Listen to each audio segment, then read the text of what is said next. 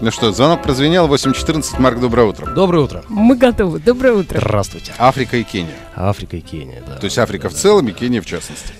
Давайте просто про Кению. Я А, про, по, по Африке небольшой специалист, потому что да, бывал только в Тунисе, в Северной Африке, а потом, когда попал в экваториальную Африку в а, начале этого года, то был э, поражен. Вот у нас уже фончик пошел. Для, для тех, кто да. еще не Я, поражен. я вам да. нашла кое-что кенийское. Да вы мне прежде скажите, вот экстремальный фотограф это кто, Ну, собственно? это погорячился кто-то с экстремальным фотографом, да, нет. Я, на самом деле, а, в первую очередь, ведущий на телеканале «Моя планета», и а, когда э, меня позвали туда работать, то предложили придумать некий формат программы. Вот. А у меня было готовое хобби. Я увлекался фотографией, не профессионально, но Вот увлекался. с тех пор это все и пошло. И я придумал такую программу про приключения фотографа, который ездит по миру и снимает какие-то истории. Мгм. Отлично. Значит, а если вы были в Африке, я обращаюсь сейчас к слушателям, и в частности в Кении, вы можете прислать свои воспоминания нам на смс-портал плюс 7 903 797 63 33. Вы можете нам позвонить в эфир 730 101 код Москвы 495. И самое главное, вы нас можете не только слушать, но и смотреть на э, сайте silver.ru. Ну, собственно, вот Кения. И вот у меня, вы знаете, у меня Кения, как ни странно, ассоциируется с президентом США. Ну, вот не- не все мои познания. Я не случайно просто совпала, да? Не случайно, да. Я был, кстати, недалеко от той деревни, откуда родом его э, Предки? там, дедушка, по-моему, точно не помню, да. И, а еще... Но у него же папка оттуда. Да, да, да, да, да. Еще, еще очень смешно, я видел в одном из национальных заповедников э, носорога ручного, который, ну, он там с кем-то в молодости подрался и э, ослеп. А, поэтому он с большим трудом добывал себе еду, и местные егеря, м- Масаи, кстати, помогали ему, и как бы он перестал бросаться на людей. Вот, его зовут Барак. Ну, да, вариант, почему нет. Национальное кенийское имя. Да, и причем я ну, спросил, а как есть какая-то связь? Он говорит, да нет, ну просто барак, барак. Наши Барак, барак. Ну, у нас тоже разные имена бывают. Да. И клички, да, точнее, у кошечек, собачек. А у них носороги. Да. Африка же. Да. С чего, собственно, начать, вот если мы говорим о путешествии по Кении? Ну, есть, вот для меня, по крайней мере, есть две самые интересные темы там, собственно, по которым я и снимал программы. Мгм. Это, во-первых, Масая, а во-вторых, а, животные. Потому что в Кении это а, удивительное место, где можно в течение одного дня увидеть так называемую большую африканскую пятерку. Это набор животных. а, название набора придумали охотники там в первой половине прошлого века. Это означает, что эти животные опасны для жизни самих охотников. И в пятерку входят лев, леопард, слон, носорог и буйвол. А буйвол-то почему? А буйвол, между Опасный? прочим, буйвол самый опасный из них. э, по статистике до 200 человек в год гибнет. Себе. Да, это са- самый смертельно опасный А животное в чем вот опасность? Он э, заводится с полоборота? Да, ну, то есть, он- когда мы говорим лев, там тигр, все понятно, да? Хищник и хищник. А вот это вот э, большое Он злобный, создание. он злобная тварь такая, знаете. Ага. Он э, очень неуравновешенный. Кроме того, знаете, когда приезжаете в Африку, если снимать животных, говоря, ну, не обязательно снимать, просто на сафари посмотреть, вас предупреждают, что э, ну, там 98% обитателей вот, вот этой земли хотят вашей смерти, и все они бегают быстрее вас. Вот. Средняя скорость любого из этих животных порядка 50 км в час. И, э, собственно, буйвол, почему он так опасен? А, Он мгновенно заводится, он бежит к вам, у него такие рога, которыми он в течение нескольких секунд делает вас там 8-12 дырок. А, Ой-ой-ой. Да, но а, есть способ спастись. Есть способ спастись от него. Не если- бегом. Нет, не бегом. Наоборот, вы должны упасть и так звездой распластаться на земле, прилипнуть. А, дело в том, что у буйвола рога устроены таким образом, что когда вы стоите, проткнуть он вас может, а когда вы лежите, он будет пытаться вас Зацепить поднять. не может, да? Не может, он будет вас Мгм. лизать. У него такой большой язык, очень шершавый, и он будет вас лизать, возможно, до крови. Вот. Но если а, вы удержитесь, и он не сможет своим языком вас перевернуть, то вы выживете. В общем, он Марк, вы не так будет вас добивать. сочно рассказываете. Неужели с вами эта процедура была проделана? Меня не лизал. Не лизал буйвол, если вы об этом. Да. Нет, То бог есть он миловал. не пытался. Не пытался даже. Хотя я, у меня была задача подобраться к нему максимально близко, чтобы сфотографировать. Удалось? Да, да, да, да. Ну, то есть, э, так шаг вот, если не трогаешь, то, в общем-то, они так спокойно Да нет. травку щиплют. Вот нет? в том-то и с буйволами не совсем так. Никогда не знаешь. То есть теоретически там есть ну, заповедник Масаи Мара, где больше всего э, животных сосредоточено. Классное место. А, вот там нельзя пешком передвигаться вообще, в принципе, только, только на машине. Вот. Ну, я как-то вылезал так аккуратненько. Ну, а что касается хищников, ну, здесь все, наверное, банально или нет? Хищники, да, с хищниками Что ты имеешь в виду банально. Как будто бы Ну, в Москве ну, каждое утро ты, банально сразу, видишь цапнет сразу. хищника. Из машины не цапнет, то есть они могут залезать вам в машину леопарда, играться там. Или я подъезжал к льву, который... Что ну, значит играться? Ну, они играются между собой, ну, А, как котята. ну, Ну, ну, вот. Они же кошки, по большому счету, да. А, ко льву я подъезжал на расстоянии вытянутой руки. Вот он лежал из машины. Пока сидишь в машине, он не воспринимает тебя как нечто угрожающее его свободе и, и жизни, и здоровью. Мгм. Вот. Но если ты выходишь из А машины, как, конечно, он тебя съедает. Да, ну хорошо, опасность он не воспринимает, это как кусочек мяса. Нет, Да тоже не воспринимает. Машину? Э, Нет, Нет. человека двигающегося. Если вы выходите Всё. из машины, вы еда, конечно. Сигнал да. Конечно, фас. Конечно, да. Но вы как-то вот про крокодилов ничего не говорите, их там нет? Есть крокодилов навал, но они, они даже в пятерку не входят. Они, как бы, ну, это Крокодилов надо, навалом надо залезть в реку и дождаться крокодила, чтобы он э, стал вам угрожать, да, ну, естественно. Там бегемоты есть тоже очень забавные. Вот бегемоты очень опасные. Ну, на, самом деле нет. На Вот самом деле не очень. То есть это Бегемоты- стереотип. Стереотип, да, по большей. Они могут быть опасными только в одном случае, в двух случаях. Если вы залезаете, опять-таки, дожидаться в реку их, а, к ним домой, они живут там. Прикармливаете, да? Да.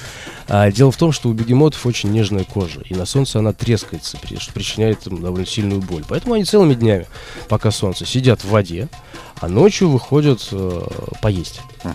Вот. И э, утром они возвращаются домой, к себе в реку. И вот если в этот момент вы на их тропинке окажетесь, то, конечно, он вас раздавит просто и не заметит. Да, он очень злится, если кто-то прегра- преграждает ему путь. А проблема заключается в том, что а, у бегемотов такое строение лап, что у них коленные суставы очень высоко. Практически нет коленей. То есть там масаи сами считают, что у них нет коленей. На самом деле есть, но... а, и То есть них бегемот не может встать с колен. Как, как, его даже поставить на колени нельзя, понимаете? Ой-ой-ой. Вот, но нет, а- Да, а начало с этого, его нельзя поставить на колени. за счет того, что у него такие, ну, лапки, он ходит как манекенщица, вот, вот так вот переставляя одну за другой вот эта туша. И поэтому тропинки, которые, которые его, они незаметны обычным глазом. То есть, ну, вот попасть на его дорогу, в принципе, легче легкого. Тропа бегемота. Тропа бегемота, да. А, ну, это экзотика, да, все-таки? Кения это экзотика. Но для меня это был вообще другой мир просто. Ну, А вот э, э, расскажите о ощущении человека, который первый раз туда попадает. Первое, что... Ну, помимо того, что вы в Найроби э, выходите из аэропорта и видите прямо там жирафов, которые гуляют недалеко. Но я надеюсь, не на взлетной полосе. Недалеко от взлетной А, не- полосы. неподалеку, Ну, не- не- конечно, не на ней самой, Ага. но да. Ну, рядышком. Да. А поражает э, То совершенно... есть они самолетов вообще не боятся. Вообще жираф пугливый достаточно животное. Я вот мне ни разу не удавалось подойти прям, чтобы погладить Мгм. и так далее. Вот. А, буйство красок. Там совершенно другие краски. Я, поскольку я тоже как-то уже привык оценивать через видоискатель фотокамеры, это первое, что бросилось мне в глаза. Совершенно фантастические краски. Вот, это первое, что приходит в голову. И из этого вырастает ощущение, что ты попал в какой-то другой мир. Я м, как-то так вот по, по долгу службы мне много пришлось где побывать. Там и в Южной Америке, в Юго-Восточную Азию всю ездил и так далее. И по России. Ну, и- Найроби это цивилизация. Найроби, ну да. Это город, Да, да, да, это город, это цивилизация. но стоит э, сделать шаг из города, как начинается сафари. Ну да, по большому счету, да. Там есть некоторое количество национальных парков, э, где как бы чаще всего масаи охраняют животных. А, И да, там они живут. А обезьяны там есть? Обезьян, да, шимпанзе я видел. Это Шимпанзе, так, да. мелочь, Ну, мне это- кажется, да. на фоне Ну, это- буйвола Правда, да. и носорога. Они же симпатичные шимпанзе. Да, Шимпанзе очень симпатичные. это маленькие. как- Нет, ну шимпанзе это такие н- на людей похожи. На бельмондо похожи. вот. Мы никого не хотели обидеть. Ой. В коем случае. Очень Ну, какая хорошо, тепло отношусь к бельмондо. Схожесть существует. А, а люди? Вот я хочу понять, а люди какие? Вот А, для нас, э, в общем-то, живущих в России, да, все это называется африканцы. Но ведь африканцы, они же э, не, не одна нация, не один народ, не одно племя. Да в одной Кении там тьма тьмущая разных племен. Просто Масаи, оно э, такое одно из самых... Я бы э, сказала, раскрученных, очевидно. да? Наверное, раскручено. Для да, другого наверное. мира. Там, как бушмены, наверное, или пигмеи и так, Мгм. так далее. Они особо для этого ничего не делали. Они всегда были таким... э, когда-то они жили э, в верховьях Нила в Судане, Мгм. А потом докочевали вот до этой территории, там поселились. Это где-то было в 1500 году, по-моему, ну, примерно.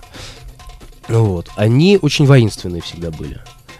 А, и, и до сих пор, собственно говоря, быв- бывают конфликты, потому что известно, что для Масаи а, он, если будет с вами спорить, то он готов идти в этом споре до конца, до вашего или до своего, ему не важно. Но вот он отстоит свою точку зрения в любом Буйные случае. такие. Не то чтобы буйный, ну, его надо разозлить, да, его надо а, спровоцировать, да. Но если вот он завелся, то его уже не остановишь, как африканского слона. скажем. Марка, вообще многочисленная группа? Масаи примерно около миллиона а, всего, и а, где-то 400 тысяч из них живет в Кении, остальные в Танзании. Но точной переписи невозможно, к сожалению, или не к сожалению, не знаю, Мгм. а, учинить, потому что, во-первых, у них нет паспортов вообще. Они могут переходить из Кении в Ну, я Танзанию тоже- и я одну страну тоже знаю, где практически нет э, паспортов. Да даже не одну, на самом деле. Вот, но, но там, правда, есть водительское удостоверение, как э, Да, знак да, да, иде- да, да. идентификации. Да. А здесь вообще отсутствует. Да, здесь вообще отсутствует там. А имена-то есть?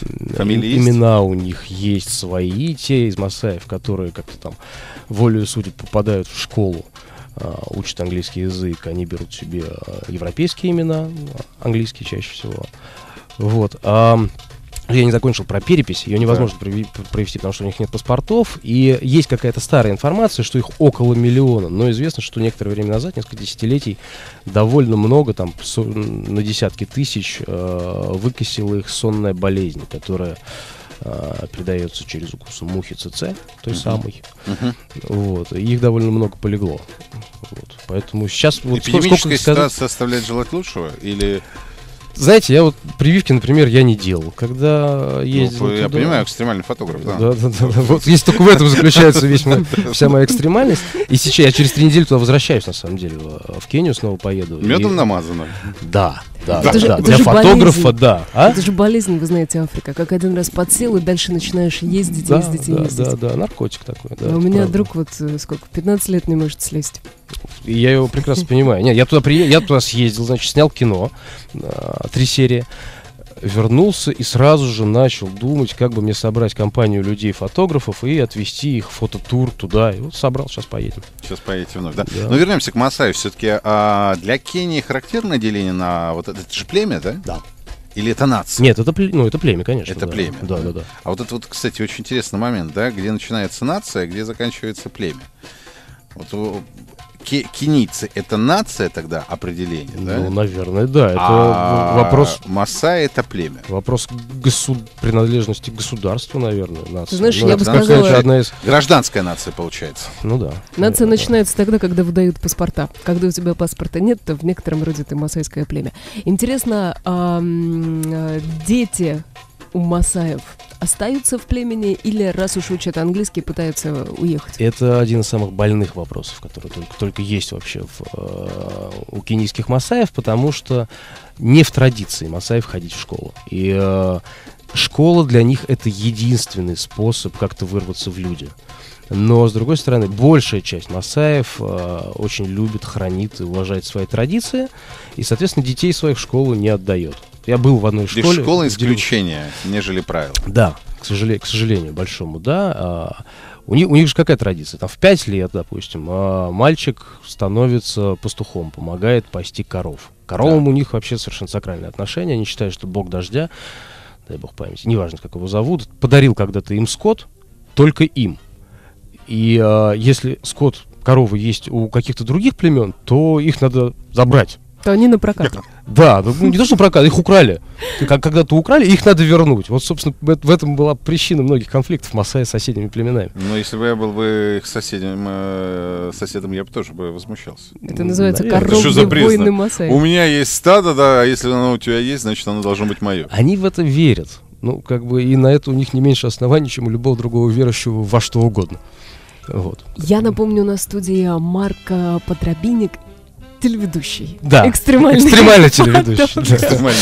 Марк, я вам предлагаю задать вопрос Поскольку да, нас, с э, Масаями, да? Связанные с Мгм. Масаями. И у Юрия есть э, книги замечательные. Вот одну из них прямо сейчас и разыграем. Книга не связана с Масаями. Нет, не связана, она с вдохновением связана. Хорошо. Косвенно, я бы сказала, Хорошо. связана. Но зная вопрос, там тоже было вдохновение. Да, да, да, да. Конкретной а персоне. куда вообще без него, слушайте? А, что, задавать? Да. Задавайте. Значит, вопрос такой. а, в каком фильме и кого сыграл представитель племени Масай? Плюс 7903 797 63 33. Тот, кто из вас первым правильно ответит на поставленный вопрос. Ну, вопрос хороший. В каком фильме и кого? Да. И тем самым прославил свое племя. В планетарном масштабе. Будем считать, что да. Но не забудьте с ответом прислать свое имя и контактный телефон. Тогда книга «Как найти вдохновение, полюбить свою работу и начать зарабатывать» кстати, для массов Актуальненько, между прочим, да, для да, всех, да. да, достанется именно вам. Но мы прервемся буквально на 2-3 минуты, а затем нашу э, встречу с Марком Подробинником продолжим. Вы слушаете «Большой ежедневник» Юрия Пронько.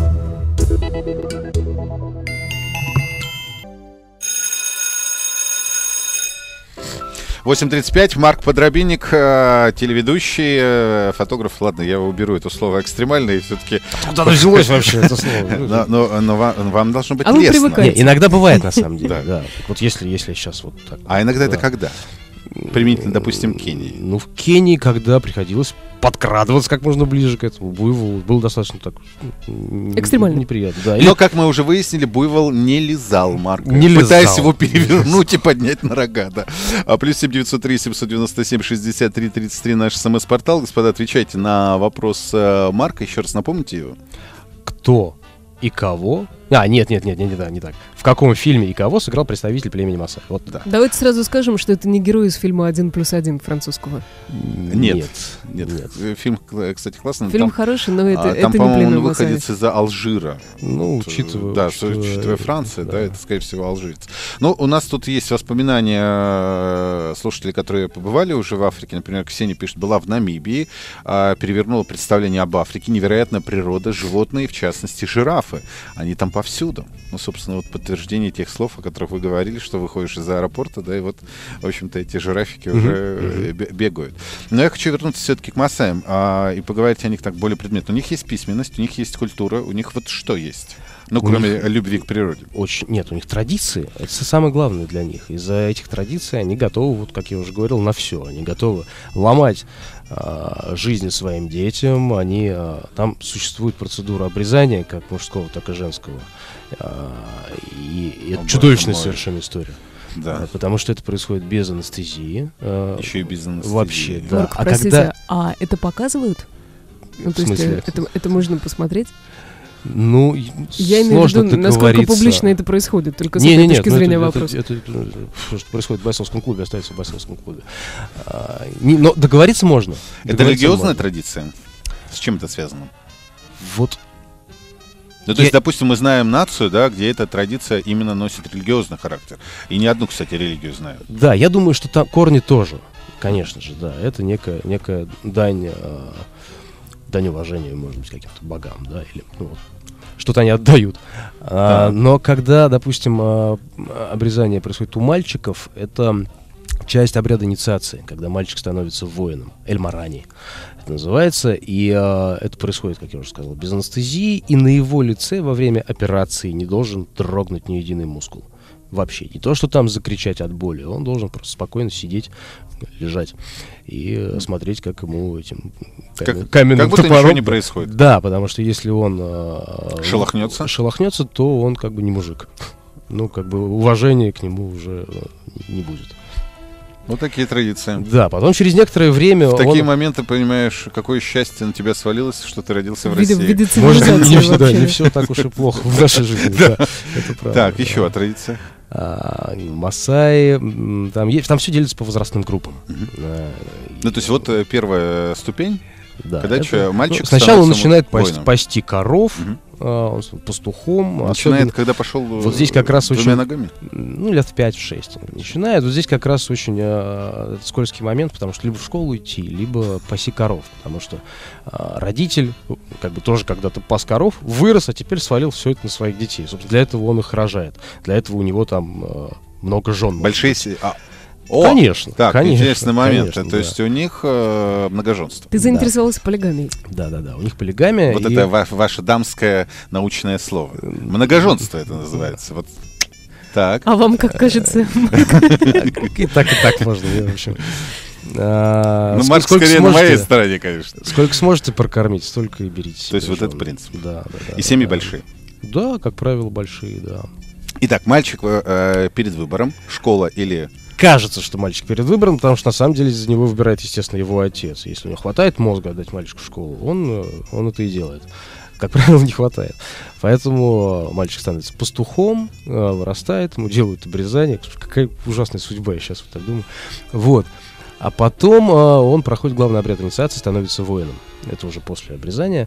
Он должен эм, несколько месяцев прожить в саванне автономно Поясняйте, о чем идет сам по речь. себе. Он должен уйти. Сначала, значит, я при этом присутствовал, я, собственно, про это и снимал, да, про эту традицию. Мы договорились с Масами. Я нашел мальчика подходящего возраста, ну, юношу, Мгм. 16-17 лет.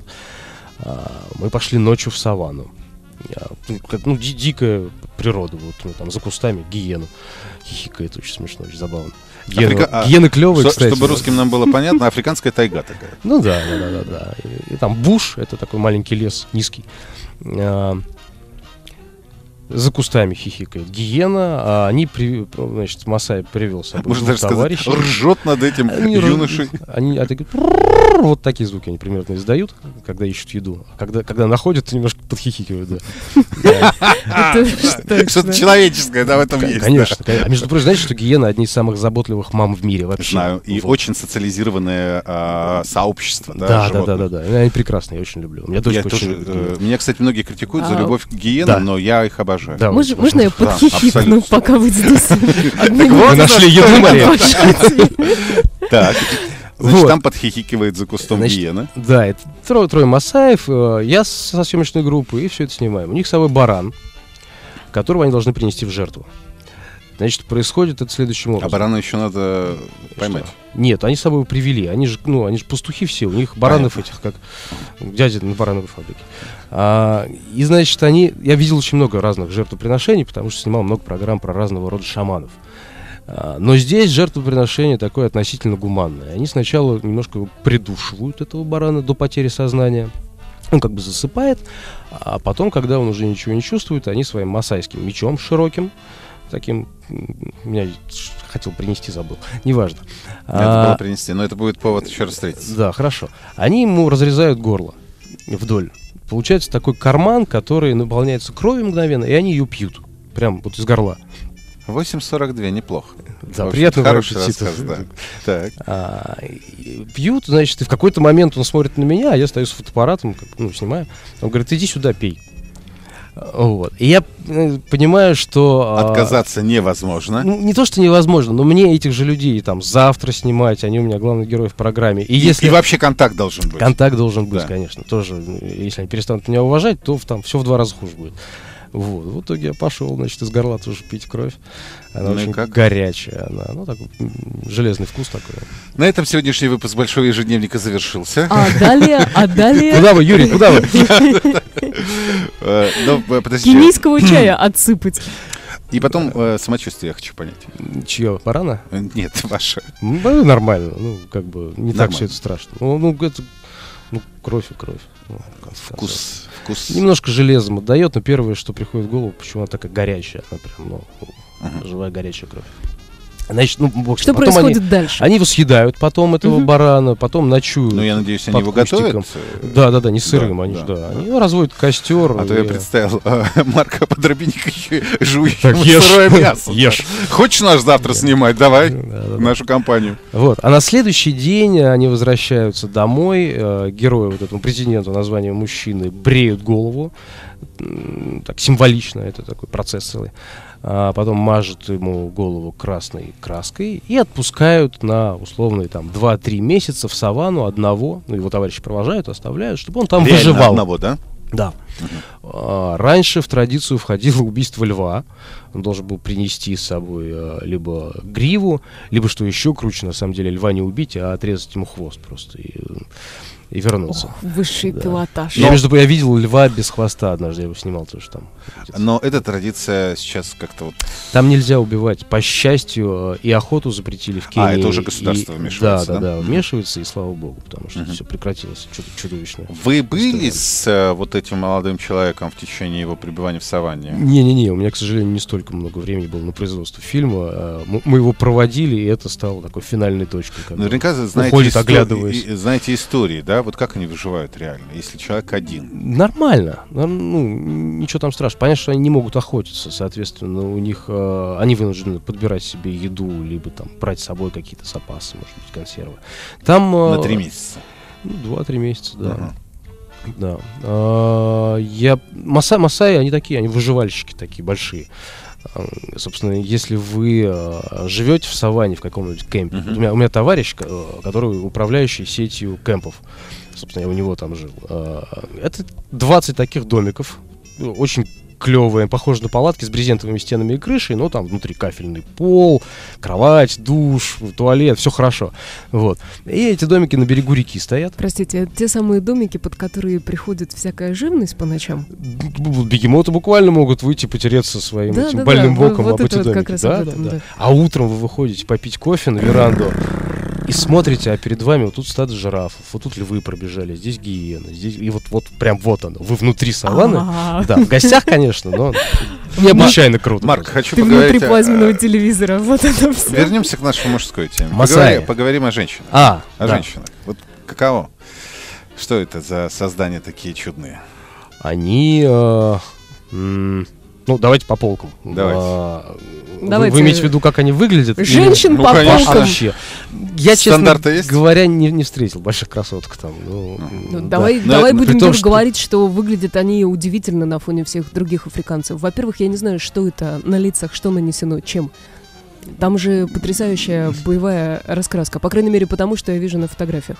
Не, они там вообще у любого африканского племени всегда есть традиция разрисовывать. А чем разрисовываются? Что это? Че- Чем наносят Если на красное, то это охра Мгм. какая-то. Если белое, то, наверное, Желтое. известь. Мгм. Ну, ну, охра, да. Интересно, смывают разная, это каждый раз и наносят заново? Сколько? Да, я думаю, да. Там, день. знаете, в чем дело? Они а, сейчас очень мало вероятно, что они так а, разрисовывают себе лица том случае, если это не какой-то праздник, а в обычной жизни. Либо есть там туристические деревни, где они все время такие Ну, скажем, это же делает женщину привлекательной, возвращаясь к теме Юры. Ну да, мужчина, мужчину грозным, женщину Марк, привлекательным. ну Они как, не как, там, красотки. как, как там груди, попа? Да по-разному, как По-разному, да? да. Но правда, нет, есть в, в Африке есть э, племена с потрясающе красивыми женщинами. Это какие? За эфиром не Я- расскажешь. Сейчас я, я забыл, как куда- называется. куда Легко, путешествовать? загуглить, это не проблема. Там, Юля а, такая потрясающие женщины Африки. что- там э, жирафы, да. вот, масаки не такие. Ну, как-то даже не, и не думаешь, о господи, по- в рай попал. Нет, этого нет. Нет, да? Нету, нету, нет. Но они, надо сказать, а, ну, поскольку многоженство, у них очень странная история. Допустим, а, вы, Масай, берете себе новую жену, первым делом она строит дом себе. У них- Сама. Сама. В- Дома у Масаев строят женщины. А, дом как строится? Это, а, из навоза и пыли, вот так скажем. Ну, из подручных средств. Да, из навоза и пыли. А, Такие маленькие полутораметровые домики, в которых а, очень узенький проход, такой лабиринтообразный, несколько маленьких комнаток, где там а, лежит такая коровья шкура, на которой они спят, костер, очаг прямо посреди, то есть это превращает в бан- баньку по-черному весь этот дом. Находиться там, где кажется, что ты сначала не можешь привыкнуть к запаху навоза, на самом деле очень быстро понимаешь, что можешь, потому что самое страшное Это и в дым. России. Я знаю по своей собственной даче, когда раскидывал навоз по грядкам. К этому привыкаешь. Надо было построить дом. Добру пропадать.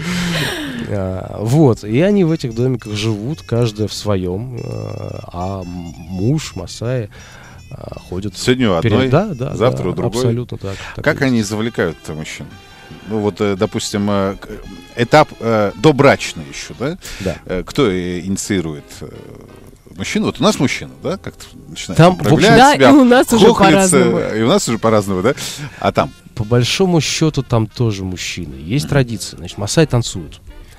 А, у них есть брачные танцы. Так. Заключается эта история вот в чем. Они а, становятся по несколько человек в круг и начинают прыгать. Вот кто выше прыгнет, тот имеет право брать себе новых жен. Как, каких захочет, право выбирать.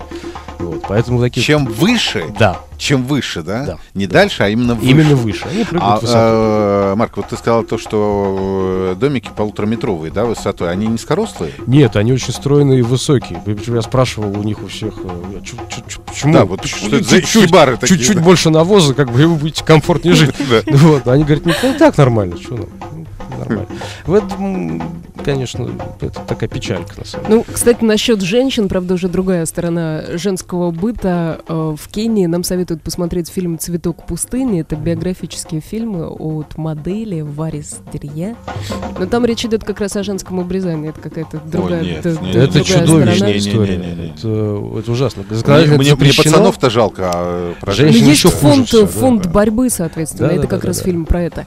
И второе про Масаев хочется сказать. Забыли мы а, отметить олимпийского чемпиона 2012 года, рекордсмен мира в беге на 800 метров Дэвид э, Рудиша. Рудиша, да. Они вообще Масаи, очень да? быстрые. Масаи, да. Очень быстрые, сильные, выносливые, ловкие. Красивые, Да, вообще африканская, кенийская школа бега одна из самых сильных. да, Кстати, да, последний э, московский международный марафон, по-моему, кенийцы выиграл. А, Могу ошибиться в стране, точно был э, представитель э, африканского континента, но, по-моему, Кения. Они, они э, Вполне очень возможно. популярны у них этот вид спорта. А, ну еще бы от бегемота убегать. Они все бегают, быс- вынуждены бегать быстрее, чем 50 километров в час. знаешь, да. в марафоне только Кения и Россия. Там как-то бочком, бочком на третьем Марк месте. Подробинник, телеведущий и фотограф. Вместе с ним мы путешествуем по Африке. Продолжение буквально через 2-3 минуты. 8.54, Марк Подробинник, телеведущий и фотограф здесь и сейчас. э, Вместе с ним мы путешествуем по Африке. Завершая наш разговор, Марк, так все-таки стоит поехать? Безусловно, безусловно. Ну, я же говорю, вот я... По деньгам вы сказали 30 Вернулся. тысяч, да? э, Билеты туда-обратно. Билеты, да. Ну, е- если брать заранее, Ну, понятно, то, да. то не очень дорого это все. И там а, тоже можно придумать, как это дешевле, чем, чем в больших туристических компаниях это сделано. Собственно, я, я этим занимаюсь примерно. Ну, а, в первую очередь, путешествие в Кению — это сафари, да? То есть, э, Ну, как? если вы хотите Да. пофотографировать, то, конечно, да. Если вы хотите просто окунуться в, э, там, в в их быт жизни и, и прочее удовольствие, то, то тоже вполне все возможно с ними. Можно договориться. И вот, э, можно найти людей, которые э, договорятся с Масаями, чтобы вас там в- встретили и вы погостили. бы. Но Ну, мы тут предположили, что на такой визит надо достаточно продолжительное время. Вот, на ваш взгляд, сколько? Я первый раз... Неделя, я две, бы три недели. Я первый раз был там две с лишним недели, но поскольку у меня же все немножко растянуто съемочным процессом, да, Да-да-да. Вот, мне тратится больше времени. Я вполне за э, неделю можно там все посмотреть хорошо. Увидеть. 30 тысяч в неделю, ну, вполне можно. Почему нет? Экономический Правда, вопрос. в, в мо- в мо- в моем случае это будет дороговато. Ну, С конечно. коэффициентом. Если Большая отели семья, да. 5 звезд плюс Отели и пять. еще на Кстати, отели, отели достойные или как вот? Вообще, Марк, ваш совет? Ну, как бы э, я бы советовал, конечно, жить в кемпах. Потому что вы живете прямо в природе. Собственно, ради, ради чего туда и стоит ехать, да.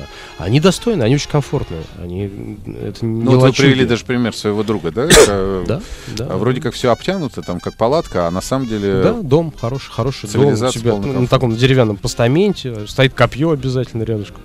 Вот, потому что ночью, если ты выходишь... Вообще ночью там не рекомендуется ходить. И, как правило, если ты выходишь ночью, то из темноты, так позвякивая э, таким ожерельем из монеток, возникает Масай с копьем, который тебя провожает, если тебе куда-то надо. А, вот так вот. Да. На что живут Масаи, откуда у них деньги? Как раз экономический вопрос от слушателей. Интересуются, да, наши слушатели.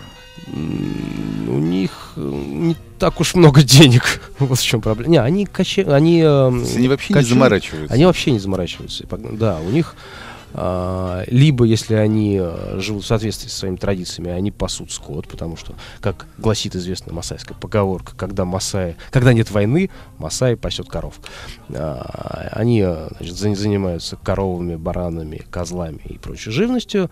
Либо, если они выбрали цивилизованный путь, в своей жизни, то они становятся либо гидами, а, либо а, егерями, в национальных парках. Либо отцами президента США.